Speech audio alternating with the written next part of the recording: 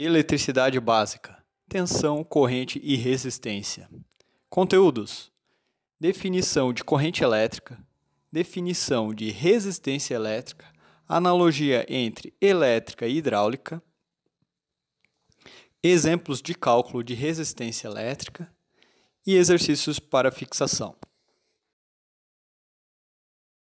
Começando aqui com a corrente elétrica, então, é, pode dizer que um condutor qualquer possui elétrons livres e esses executam movimentos desordenados, movimentos aleatórios, estimulados, tal como mostrado nessa figura que eu estou é, apontando com o mouse aqui.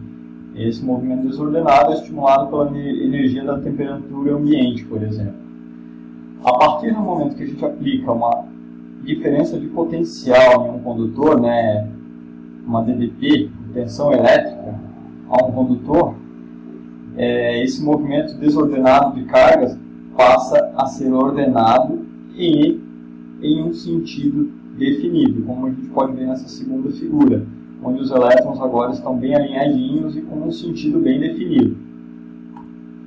Então, em resumo, a corrente elétrica é o fluxo ordenado de cargas elétricas em um condutor, certo? Ela é, a corrente elétrica então é simbolizada pela letra I e sua unidade de medida é o ampere. A gente representa com a letra A maiúscula.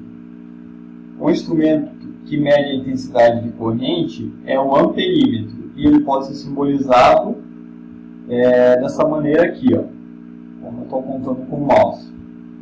Os instrumentos então que medem a intensidade de corrente, o amperímetro, ele pode estar é, ser encontrado na forma de um alicate amperímetro, onde a gente tem aqui então é, uma espécie de uma garra, né, com um orifício por onde a gente pode atravessar o condutor que a gente deseja fazer a medição, então passando o condutor dentro dessa, dentro dessa abertura da garra aqui, a gente consegue é, fazer a leitura no display do valor de corrente que circula por esse condutor. Ou ainda pode se fazer por meio de um multímetro que a gente já conversou sobre esse equipamento. Ele permite a medição de múltiplas grandezas né, em um mesmo instrumento, uma grandeza de cada vez, então é possível a gente medir ou tensão ou corrente, pela orientação do fluxo ordenado de elétrons, já que é ela responsável por organizar esses elétrons dentro do condutor. Então a tensão é a força responsável pela orientação do fluxo dos elétrons, ou seja, a força responsável pela orientação da corrente elétrica em um condutor quando a gente tem um circuito fechado, como por exemplo o circuito de uma lanterna. Então, nesse circuito aqui, a gente tem alguns elementos que a gente já viu em sala. Esse símbolo aqui é o símbolo da fonte, então teríamos uma fonte de tensão contínua de 4,5 volts, um interruptor, uma chave, certo? Para fazer o papel de ligar e desligar esse circuito. Então, quando essa chave for fechada, é, essa barra desce, conectando essa ligação elétrica e aplicando a tensão de 4,5 volts em uma lâmpada, a lâmpada da lanterna. O circuito convencional da corrente seria fluindo aqui, então, do positivo dessa fonte, passando pela, pelo nosso interruptor, caso ele esteja fechado, circulando por meio da lâmpada, gerando assim então o acendimento dessa lâmpada, né, o brilho, e retornando para o polo negativo da fonte. Esse aqui seria o sentido convencional. ainda, o, na apostila, pessoal, uma definição bem clara sobre o que é o sentido convencional e o que é o sentido real da corrente elétrica, tá certo? Eu recomendo que vocês é, acessem depois a apostila e façam a leitura.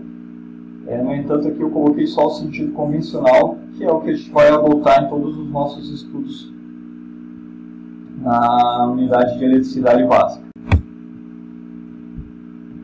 Ok? E a resistência elétrica, então, pessoal? Quanto à resistência elétrica, a gente pode dizer que, por melhor que seja um condutor, ele não apresenta um caminho perfeito para a circulação de corrente. O que significa isso? significa que os elétrons estão sempre se chocando na estrutura atômica do condutor, certo? Então, terá condutores em que a movimentação desses elétrons será mais facilitada, em outros um pouco mais dificultada. E essa grandeza da resistência elétrica justamente está tá alinhada com essa situação. A restrição ao movimento dos elétrons é chamada de resistência elétrica, ou seja, resistência é a oposição oferecida por um condutor à passagem, né, à circulação de corrente elétrica. A resistência ela é simbolizada pela letra R e a sua unidade de medida é o ohm, simbolizado por esse pela letra do alfabeto grego aqui, o ômega. Sua simbologia pode ser dessas duas maneiras, pode ser dessas duas maneiras aqui. A gente vai utilizar essa primeira simbologia, tá certo? Então, para a gente entender um pouquinho melhor o conceito da tensão elétrica que a gente havia estudado na aula anterior e agora da, tensão, da corrente e da resistência que a gente viu nesses, nesses slides anteriores, é importante a gente entender essa figurinha aqui, ó, que na verdade é uma aplicação é, prática que tende a facilitar na fixação do que, do que são esses elementos, essas grandezas elétricas. Então, nesse sistema, a caixa d'água B, nesse sistema, a água se desloca da caixa d'água A para a caixa d'água B devido à diferença de altura que existe entre essas duas caixas. Então, como cada ponto no espaço possui um potencial gravitacional, que é proporcional à altura, né? É, a gente acaba tendo a movimentação da água do ponto da caixa que está mais alta para a caixa que está mais baixa. Então, a corrente de água que existe nessa movimentação de água da caixa A para a caixa B, a corrente de água que existe por causa da diferença de potencial gravitacional entre as duas caixas. Ou seja, essa corrente d'água que a gente imagina que será estabelecida para encher a caixa B, pode ser uma analogia feita com a corrente elétrica fluindo por um condutor.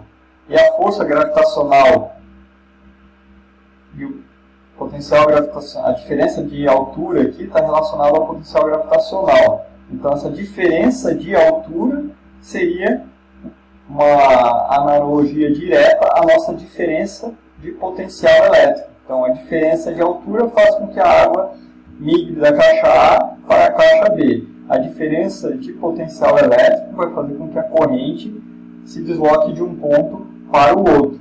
Certo? E a resistência, onde entra nisso tudo?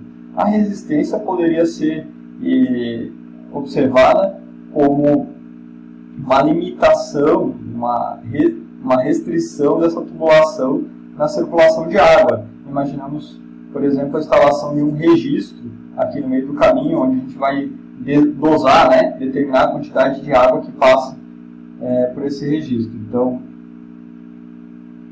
nesse sentido, é, a gente pode imaginar que a resistência elétrica estaria relacionada à resistência, à dificuldade da circulação de água que a circulação de água poderia encontrar nesse caminho até chegar à caixa B.